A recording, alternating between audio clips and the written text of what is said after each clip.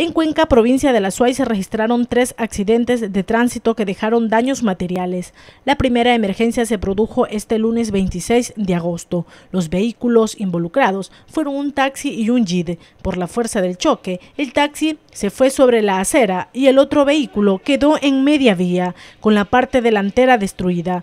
Este hecho sucedió en las calles La República y Octavio Díaz. Las investigaciones señalan que este accidente fue por irrespeto al disco pare, que da preferencia de circulación a los vehículos que avanzan por la calle La República.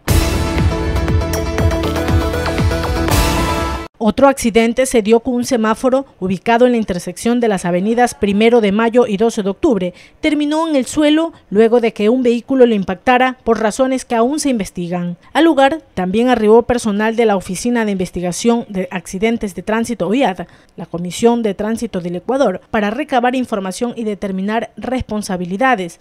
También se hicieron presente agentes civiles de tránsito, quienes constataron el suceso y procedieron a retener el vehículo no se registraron personas heridas de gravedad.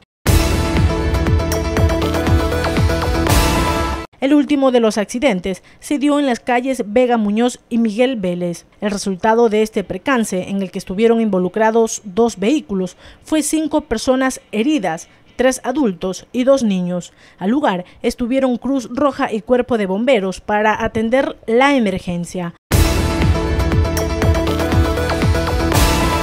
En redes sociales circula un video donde una vez culminado la audiencia de flagancia por presunto delito de receptación contra el ciudadano Merino Arlington, el señor juez José Mayaguari manifiesta por no haberse ordenado la privación de la libertad del procesado. Se ordena su inmediata excarcelación, entregando boleta de libertad correspondiente al señor jefe del cuarto distrito de la Policía Nacional del Cantón Yaxasa para que proceda a liberarlo. El mayor Patricio Vargas pidió la palabra para respaldar el trabajo de la Policía Nacional, pero fue amenazado por el señor juez con iniciar acciones por supuestamente obstruir y atentar contra el derecho de la libertad de justicia.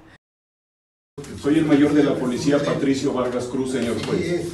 La verdad, siento indignación con lo que está ocurriendo lamentablemente. Escúchese grábese la información del señor Sí, estoy, estoy grabando, señor juez, para mi respaldo. Está atentando contra el derecho del juez. Juez actúa con independencia y así debe proceder. Así lo dispone la Constitución. ¿Cómo, cómo, de qué forma, señor juez, garantiza la seguridad? persona tiene derecho a intervenir en los asuntos. Ya se terminó la audiencia, estoy hablando fuera de la audiencia, señor juez, No, y haciendo sentir... El la- juez ha dicho que no le puedo respetar su versión ni su ¿De qué manera usted garantiza entonces, señor juez, la seguridad no de la ciudadanía al saber que un señor, que un ciudadano... Señor secretario, remítase la información, la perturbación, la obstrucción de la justicia del señor agente de la policía que está atentando contra el Se derecho. terminó la audiencia, señor juez. Se terminó la audiencia y estoy pidiendo la palabra para hacer... De la justicia, contemplado en el artículo 170. Informó para Últimas Noticias Jessica Romero.